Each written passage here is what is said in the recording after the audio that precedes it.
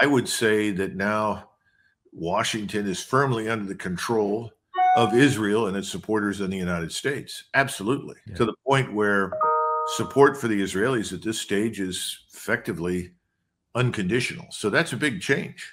But I'm not an Israeli, but I am an American. And I think first and foremost about the United States. And I, I'll be frank with you, I'm very worried about our position mm-hmm. in the region and in the world. Yeah. Because everyone knows that we ultimately hold all the cards when it comes to Israel. Today, Mr. Netanyahu has far more influence and control over what happens in Washington than President Biden. This is Colonel Douglas MacGregor, a 28 year veteran of the U.S. Army who previously served as the senior advisor to the U.S. Secretary of Defense. Colonel MacGregor is an excellent insider to the complex geopolitical events around the world. And I think as a result, uh, Mr. Netanyahu decided that this is a good time to strike at Gaza. The attack from Gaza essentially handed him an opportunity on a silver platter. Right. And we're beginning to find out that, yes, it was a terrible attack and terrible things were done but not quite as as it was originally described.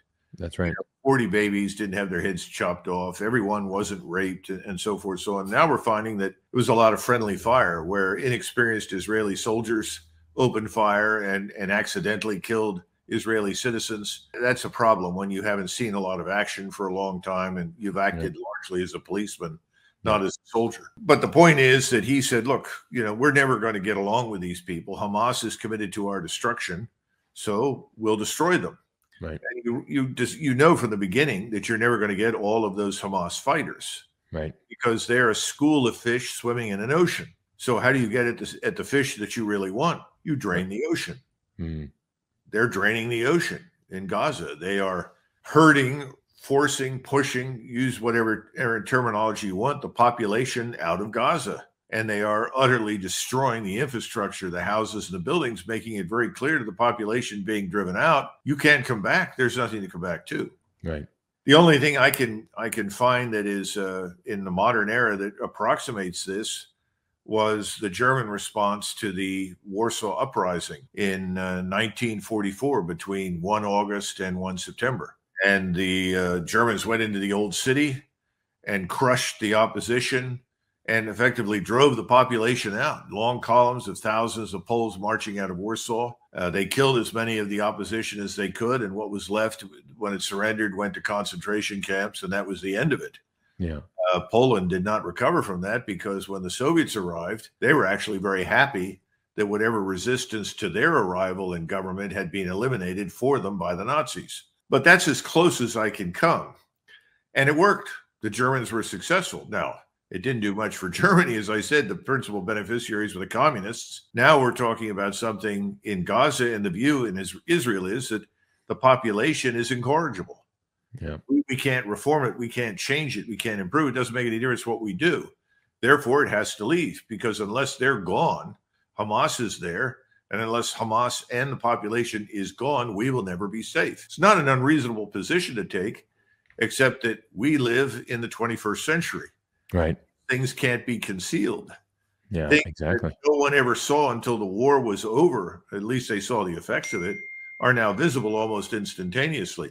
Right. The world in the Middle East has changed. You know, in the last 50 years, countries that were much less capable, much less technologically sophisticated are now actually very sophisticated. Right. I include Iran, Turkey, even Jordan, Egypt, Saudi Arabia, the Emirates uh, everyone can watch, everyone can see, and everyone is enraged. And so the question is that has to be asked of Mr. Netanyahu is can you kill your way out of this? Hmm. I think the answer is no. The time to do that is run out as it is. And then you have to ask well, can Hamas, under any circumstances, ever live in peace with Israel? I think the answer to that is probably not. Right. In fact, the answer now is can the whole region tolerate Israel after what's been happening?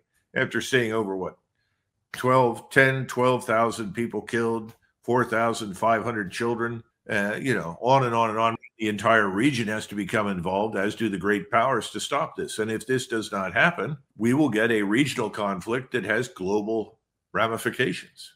Well, this is something that could eventually reach us and do a lot of damage here in the United States. So I think Congress has abdicated its responsibility because it's a fugitive from accountability.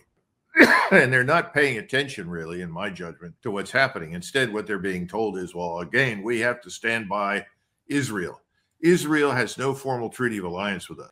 Is it in our interest to bankroll unconditionally the expulsion of millions of people from their homes in order to create a new Jewish megastate from Jordan to the Mediterranean?